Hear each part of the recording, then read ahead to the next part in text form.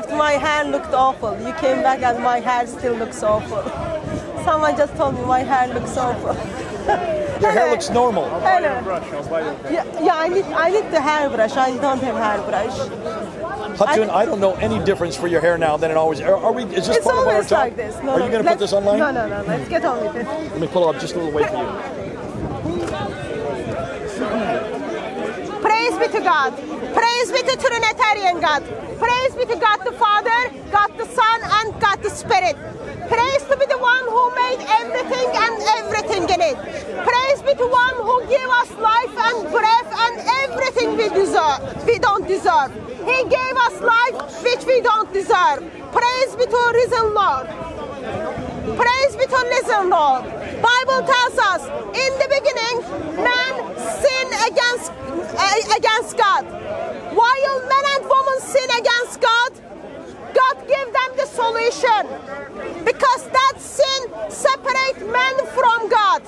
That sin separates man from the creation. That sin breaks the image of God. While the Bible tells us God made man and woman in his own image. Yet, God of the Bible gives us the solution. Solution is Lord Jesus Christ. One day, He will come as the eternal Word of God, who will take up the human nature, dwell among us, and died on die on the cross for the sin of mankind. Throughout Scripture, prophets talks about that. And approximate 2,000 years ago, Lord Jesus Christ comes and dies on the cross for the sin of mankind. His death on the cross made man and woman right with God. His death on the cross offered us eternal life with God. Today, as we celebrate the life, Prince of Prince of Peace, Peace of Peace of Prince gives us. We also Prince of Peace. Prince of Peace gives us. We also remember something about Islam.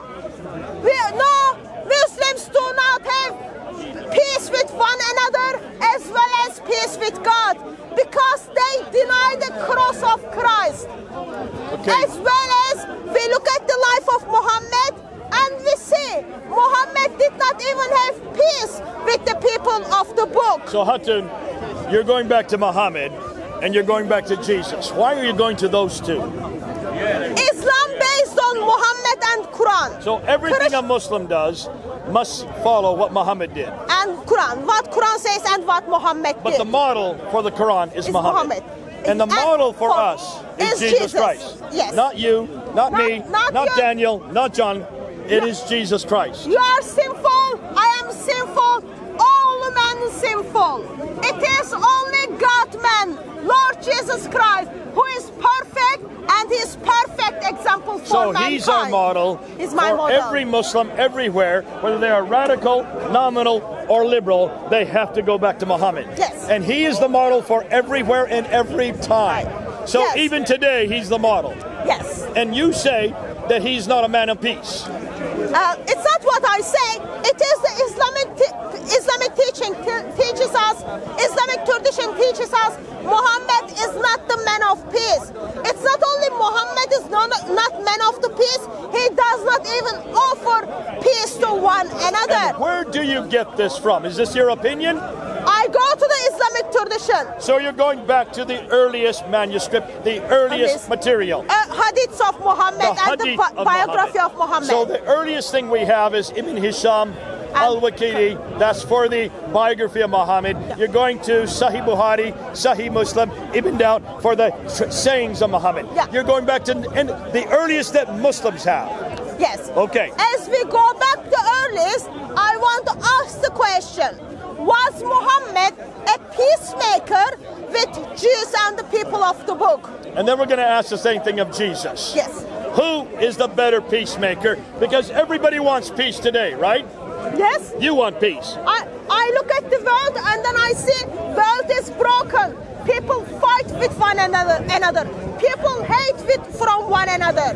Therefore, we are all hungry for the peace. We're all Yet- hungry for peace. Yet it is only Lord Jesus Christ who is the perfect peace, offers peace with God Himself and with m- men uh, between man and woman, man and man. Now, to find what Jesus said and did, we go back to the New Testament. to see what Muhammad said and did, we go back to Ibn Hisham or Al Buhari. Yes. Let's go back to Ibn Hisham. Let's go back to Al Buhari. And I want to ask specifically, what did Muhammad do to the Jews living in Medina? Now, let, That's my question. I want to ask that question because I am curious about how Muhammad dealt with the people of the book. Okay, the people of the book, the best example is Medina. He moved to Medina in 622.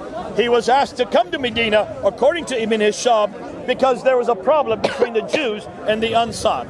They were fighting, they were conflicting. Muhammad was from Mecca. They asked him to come to arbitrate between the Ansar, the native Medinans, and the Jews, the native Medinan Jews. How long had the Jews lived in Medina? That was their home. They've been there for centuries. They, it was their home. So they invited Muhammad to come to their land to make the peace. So he was the guest. he was the guest. He was not from Medina, he was from Mecca. He was Point number one. Was invited. In 622, he created a constitution of Medina, a contract. According to what Muslims tell us, this was a contract between all of those living in Medina. Have you read the Constitution of I have, Medina? I have read it. Have you people read the Constitution of Medina? Of course, the If you question, is, haven't, you need to read it. the question is, did you read the Muslim version or the historical version? You need to go to Ibn Hisham. You need to go to the the earliest version. How many articles are there in the Constitution of Medina? Over 40? 47. 47. There are 47 articles in the Constitution of Medina. What is the first article? How does the first article begin? How does the Constitution of Medina begin? It, it defines Allah and Muhammad, and Muhammad is the man of God, That's right. prophet of God. This, it basically gives you the Bismillah, Al Rahman, Al Rahim, and then it gives you the Shahada. There is La ilaha. Eşhedü and- en la, eşhedü en la ilahe illallah, eşhedü abduhu ve resulullah. That's right. So you have already a reference point that bothers me. As a child of the book, as a Christian, I would never sign something that started with Allah and ended with Muhammad. Would you sign that? I wouldn't and Jews wouldn't. Are you Christian? Yes, but hold on. Yes, we are. So you already have a problem with the beginning of the Treaty of Medina. Because Jewish people did not identify Muhammad as the prophet. Muhammad went against Deuteronomy chapter 13, which every prophet is supposed to fulfill. Jewish people would not identify Muhammad as a prophet. What are the therefore, four, what are the four things every prophet must fulfill? Do you know what they are? um, The do. first thing is they They- must be in the prophetic line. yes, they need to come in the line And of what is the prophetic line? Genesis 17 is very clear that it begins with The- Abraham, Abraham, Isaac, Isaac, and Ja- Jacob. Jacob. Not Ishmael. When, Muhammad, when Abraham even asked, What about my son Ishmael? What did God say in response? In, Ge- in Gen- um, Genesis chapter 21, Isaac is identified as the only son, yet God of the Bible said to the um, Abraham, I will bless him and then I will give him. Okay, that's in Genesis chapter 17, Yeah. verse 21 and 20. It says, I will bless Ishmael. Yeah. He will have 12 sons. They will be the leader of 12 nations. Verse 21, but my covenant is with- with Isaac. And everyone after that is in the line of Isaac. Do you find anybody that's in the line of Ishmael? um, no, Don't worry about them. No, fuck that. You, you, you, no. Okay, here we go. Listen. So listen. Can you give me the name of Jesus' father? Come on. Give me the name of Jesus' father. What was the name of Jesus' father? He didn't have a He father. did- he- so he was a bastard. Okay. So he was a bastard. Is that all you want to say? Now, bye bye. So here we go. He is now calling Jesus a bastard. No Muslim should be calling Jesus a bastard. Shame on you. I'm why don't on you him. tell your brother to Why don't you go talk to your brother? Shame on you for speaking Shame on him for calling Jesus a bastard. According to Islam and according to Christian faith, Jesus is the perfect man. Jesus was born from the virgin. Jesus was born from the virgin. He's calling you. Therefore, he's perfect. Therefore, he's perfect man. According, Okay, sorry, there is something wrong over there. Sorry according to Islamic scripture and Christian scripture, that Jesus was born from the Virgin. He did not have a father. He did not have a father. According to Christian scripture, Jesus is identified as God-man, and he is perfect. He was perfect, and he will be perfect. Then our question again goes back to Muhammad. So let's go back to Muhammad. Here you have the story of Muhammad, right? You have it in Ibn Hisham. He comes to Medina from Mecca. He's a guest to begin with. Secondly, he was asked to arbitrate. He puts together the Constitution of Medina. Now, would you sign that Constitution? I wouldn't sign because that first article identifies identifies Muhammad as the prophet of Allah. Yet Allah is not known to the Jews as well as Muhammad cannot be the prophet. Therefore, Jews logically would not sign something. I like would that. not sign it. No Jew would sign it. Did any of the Jewish tribes, the Banu Kainuka, the Banu Nadir, the Banu Qurayza family, are their names on that Medina Constitution? No, they are not. Can any Muslim find their names on the Medina Constitution? Uh, Their names are not there. It is not there. Their names are not there, right? Yeah. Proving that they never signed it. I'm telling you. So here we go. You have nobody, no Jew had signed that they were looking at. These three Jewish tribes in Medina, they did not sign the Constitution of Medina, right? They did not. And the reason they did not, look at every one of the articles. The articles are for Muslims alone, are they not? Yes. They are only for the Muslims. The Jews that they talk about have to be in subservience to the Muslims. We can go back down to every one of the 47. We're not going to do that right now. Because So knows that they did not sign it. Therefore, they are not therefore obliged to follow it. Am I correct? Remember, first article is talking about Muhammad is to be the messenger of Allah, which Jews did not believe in. I don't believe it. Jews No didn't Jew believe would it. believe Jews that. didn't believe it. So That's why I therefore, therefore, we do not religion so- and see the be to my signature of Why do you Jews. need to believe Jews did not put their your religion? signature So there. here we have- Therefore, they're not accountable So what happened in religion? 624 when the Jews refused to sign? What happened to the first Jewish tribe? What happened to the Banu Kainuka? So first Jewish tribe Banu Kainuka, they were kicked out from their own land thanks to Muhammad. Muhammad only been there two years. He threw out the first Jewish tribe. Am I correct? Yes. She says, Alhamdulillah. Now Muslims today agree with that. What happened in Don't you think 625? that's shameful? Not really. Today Muslims are celebrating what Muhammad did to Jews. Alhamdulillah. Watch out those Muslims who are celebrating what Muhammad did to Jews. Muhammad kicked out Jews from their land. And she's saying, Alhamdulillah, God be praised for doing that. Can you see now? Number two, what happened in 625? What happened to the Banu Nadir family? They were kicked out from their land Up to Khaybar in the north. Yeah. Did they come from Medina or did they come from Khaybar? They were from Medina. It, wa- it was their own land, and they were kicked out from their own land thanks to Muhammad. Was Muhammad from Medina?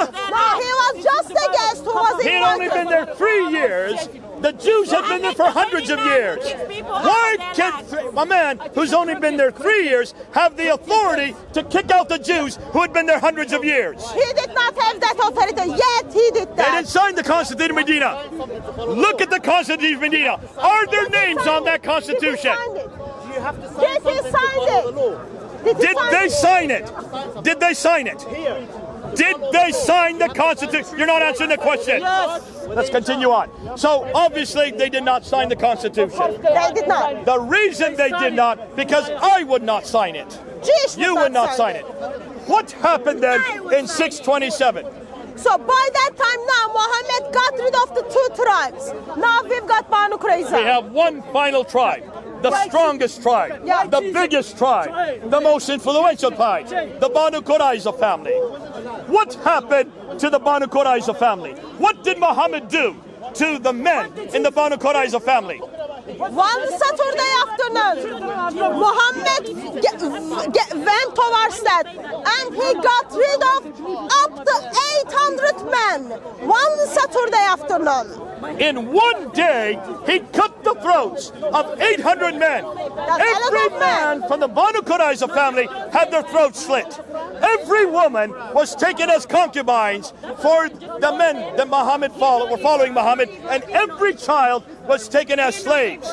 What happened to the Banu Qurayza family? So while Banu Qurayza's men were killed, Muhammad took the wife of the chief, Sophia, to his tent and he forced himself to her and then he made her his wife. He made her his wife. That's just disturbing and disgusting. Okay, so that means Muhammad had only been in Medina for five years.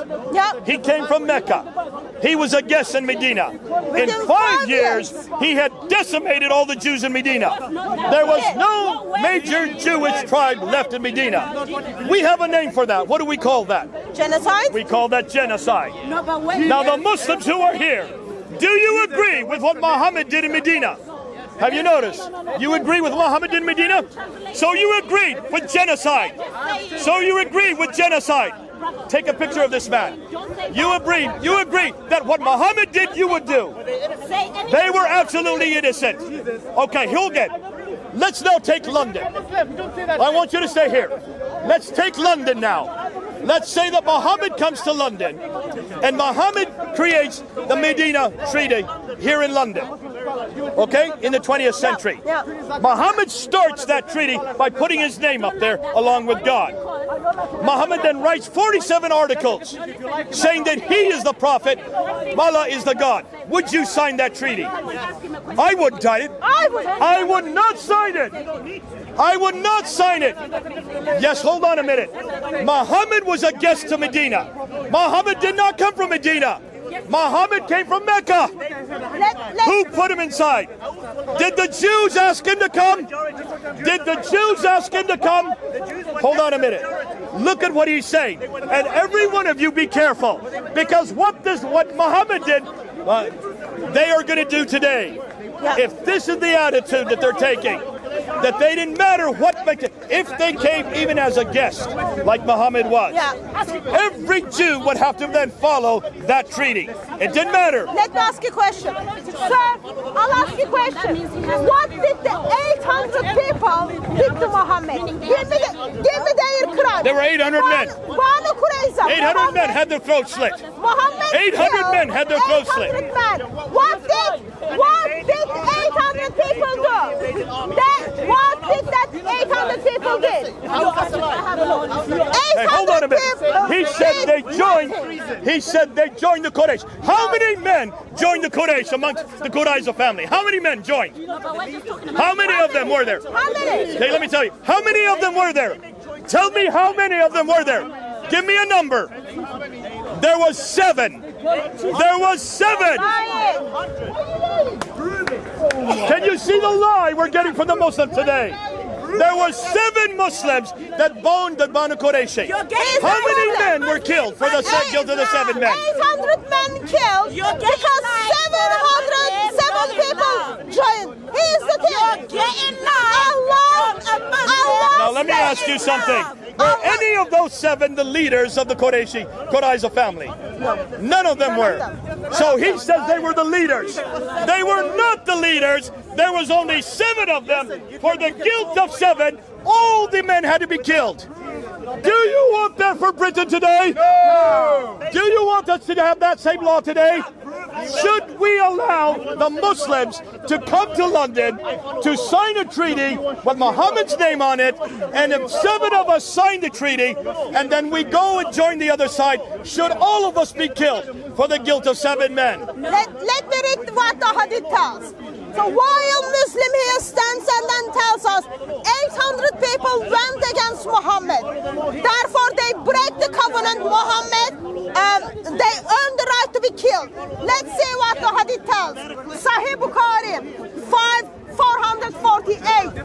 When Muhammad returned from the battle and laid down his army and arm and took bath, Gabriel came to him while he was shaking the dust on his head. And then he said, You have laid down your arms.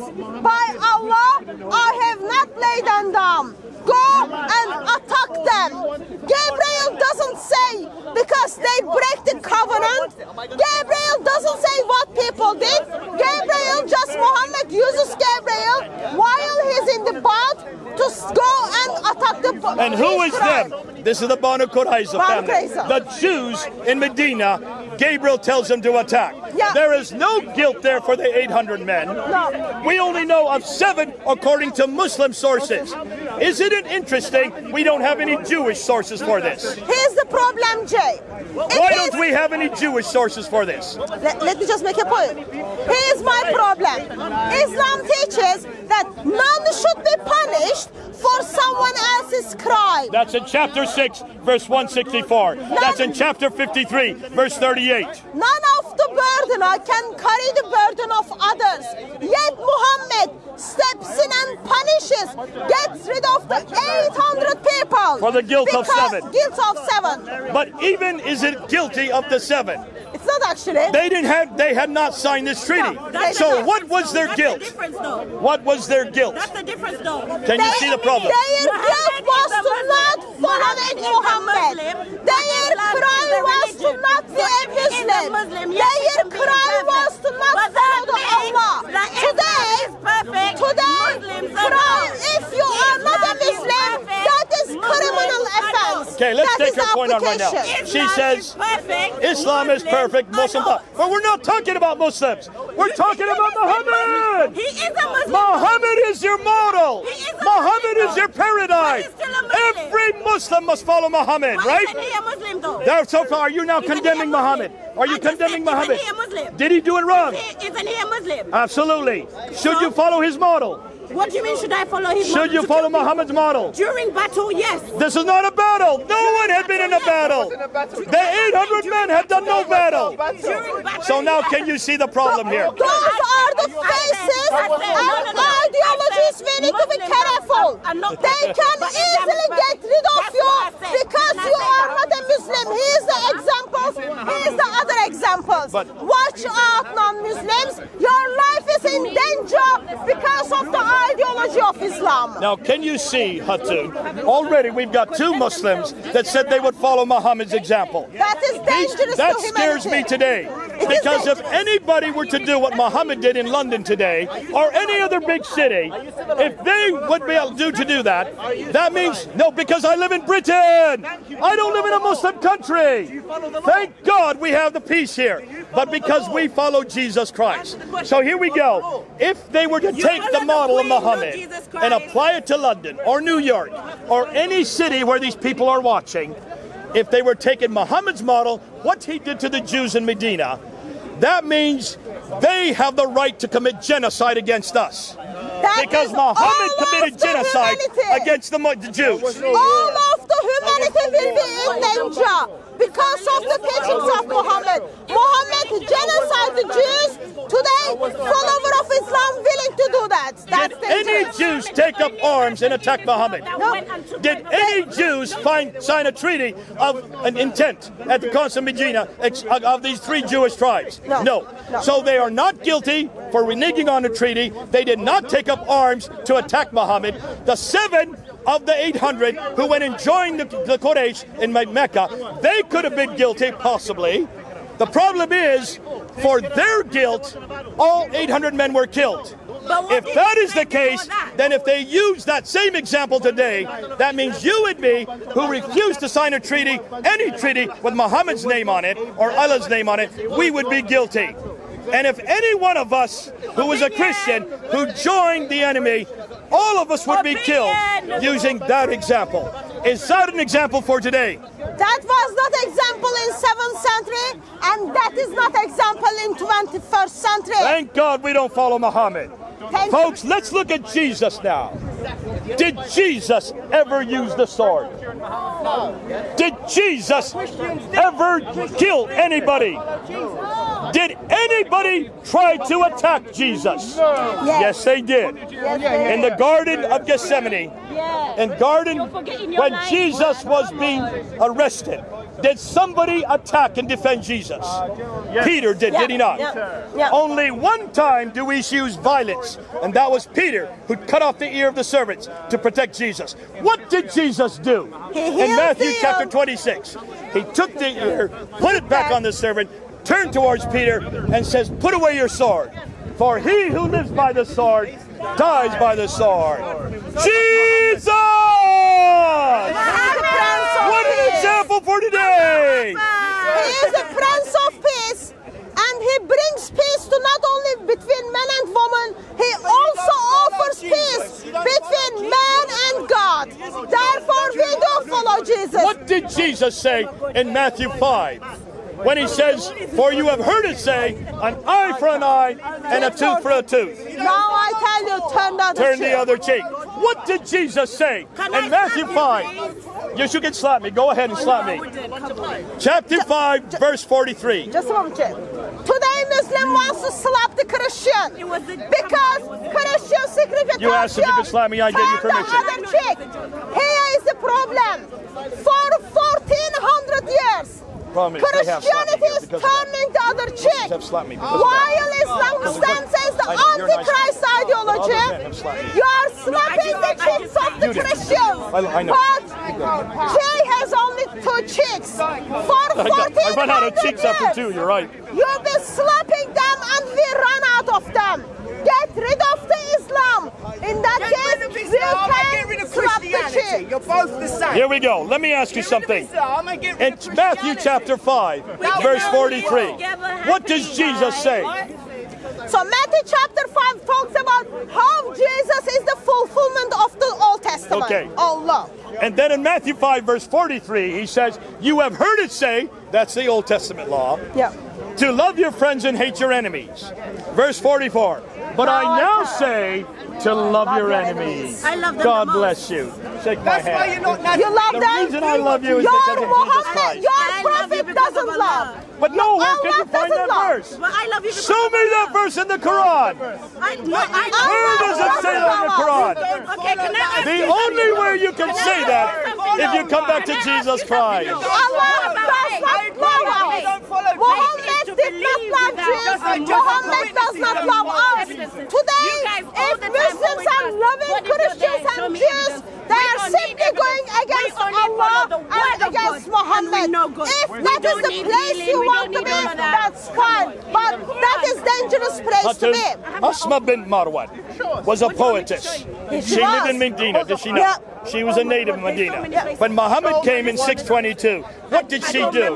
No, I don't memorize, but I do oh, know. I, Asya bin Marwa, No, one of know, the women whom. Muhammad expressed love by getting rid of Wait, wait, what does her crime? Her crime was to just oh, sing a poem. She wrote poetic verse against Muhammad. What happened I to her? wouldn't, I wouldn't say that's against the against Muhammad. It was a poem. Muhammad got offended. It is Muhammad's issue. Well, according to the traditions, she mocked Muhammad. I wouldn't say that's a mocking, Jay. I read that poem. It's What we're a doing mocking. today would be in the same category. We're not mocking him, I'm not mock- but we are also confronting Muhammad. I'm questioning. So look and see what Muhammad said. So what happened when the Umar, the blind cleric, or the one with hardest thing, he went that night while Asma was suckling her baby. He thrust a sword through her heart, killed her. Came the next morning, came to Muhammad and told him what he did. "Well what done." was Muhammad's Muhammad response? says, well done. Well done, Umar, for what you have done for your prophet. Oh, but he he allowed a disciple but just think of Muhammad, his own disciple, done, to kill a woman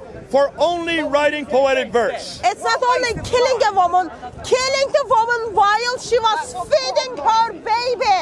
Oh no. Why? Oh, no. happen anywhere else in the It's in your It tradition. Happened. It's Your in him and his teachings song. on actions of your prophet. else in the world does what it. one group does. Are you trying to justify that? Oh, Those are the faces trying Nowhere where Jesus that. is will not happen.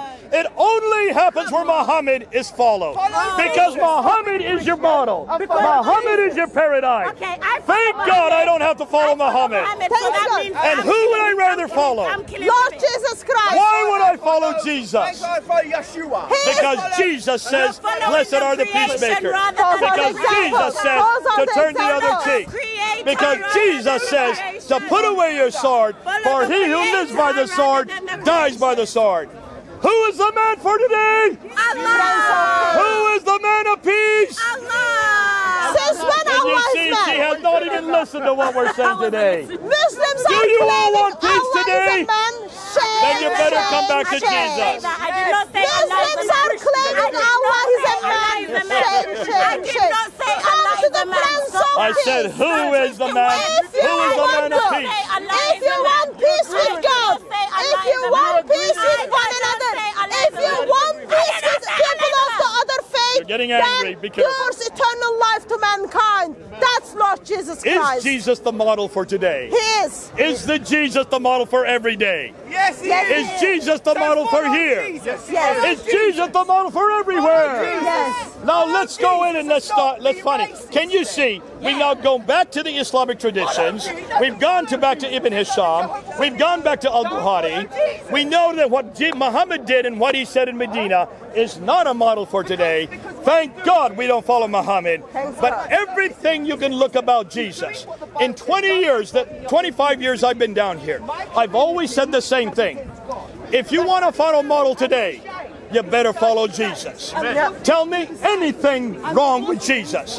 I've asked that question for 25 years. Nobody can find anything wrong with Jesus. Not even Madonna, Madonna can find anything wrong with Jesus. Muhammad, however, I want nothing to do with. Not only because of what he did to the Jews in Medina, what he did to those who lived in Medina, and he was only a guest there. He is not a model for today. He's not a model for here. He's not a model for everywhere, but Jesus is. God bless you, folks. Come on back to Jesus. If you really want peace, you better come back to the man of peace. And what's his name? Jesus! Who is the King of Kings? Jesus! Who is the Lord of Lords? Jesus! Who is God on earth? Who is God on earth? Jesus. She's quiet. Who died on the cross? Jesus. Who then rose again? Jesus. Who now is in heaven? Not Jesus. Okay, Jesus. Who waits for you and me? Jesus. Who wants to bring you home? Jesus. What's his name? Jesus. I can't hear you. Jesus. Jesus. God bless you. We give you you. Jesus. Amen.